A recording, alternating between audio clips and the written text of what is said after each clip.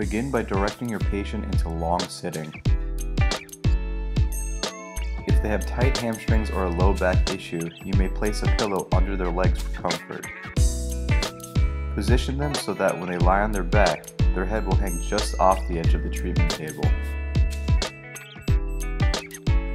Turn their head about 45 degrees towards the side to be tested. Make sure to tell them to keep their eyes open at all times. For demonstrative purposes, we will test the patient's left side. One hand should be placed on their middle back to direct their fall, while the other hand cradles the head. Cue the patient to lie back quickly but safely.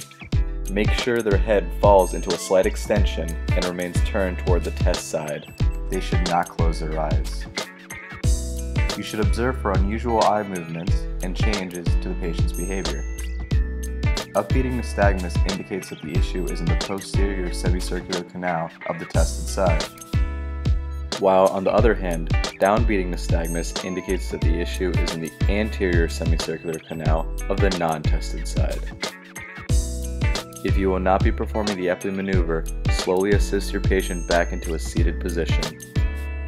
Here are additional indications of a positive test to look out for.